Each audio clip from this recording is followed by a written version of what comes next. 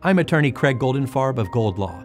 I'd like to introduce you to a special client whose story may be your own. When you make that first phone call, it's, a, it's an uncomfortable thing because you're telling them how you got hurt in an accident, but they, they made the, the, a very uncomfortable process very comfortable as much as it could be.